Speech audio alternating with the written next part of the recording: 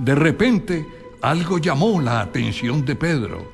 Era una gata que se le acercaba al pajarito arrastrándose entre la hierba.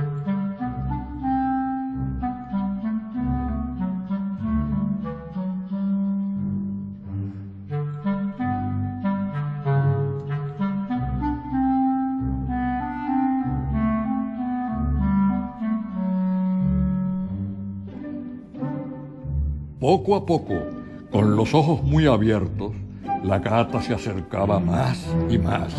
Por fin, pensaba, un pajarito gordito que está distraído discutiendo con el pato. Lo agarro y de un solo golpe me lo como. Moviendo muy despacio sus patas de terciopelo, ya va a saltar sobre el pajarito. ¡Cuidado! Gritó Pedro. Y el pájaro voló enseguida a un árbol.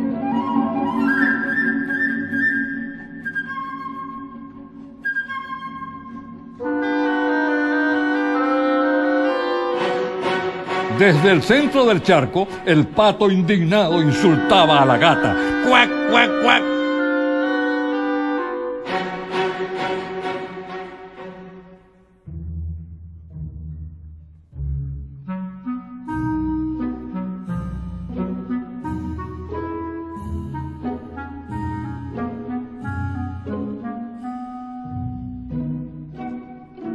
Arrastrándose alrededor del árbol, pensaba la gata.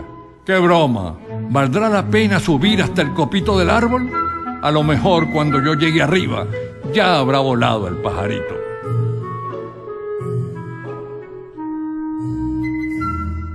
Mientras tanto, Pedro hizo con el mecate un lazo corredizo y lo fue bajando con cuidado muy lentamente.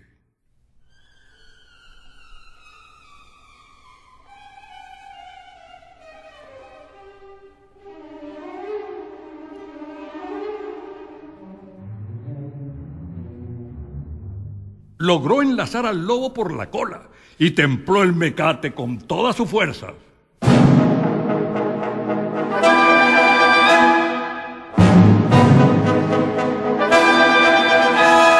Al sentirse atrapado, el lobo se puso a saltar desesperadamente para ver si se soltaba.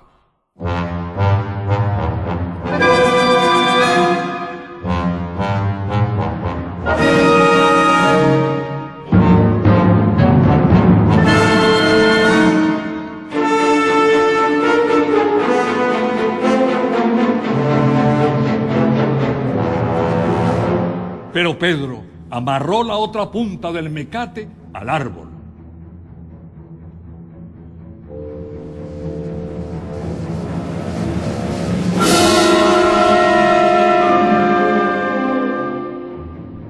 Los tirones que daba el lobo al mecate, cada vez que saltaba, le apretaban más el lazo corredizo en el rabo.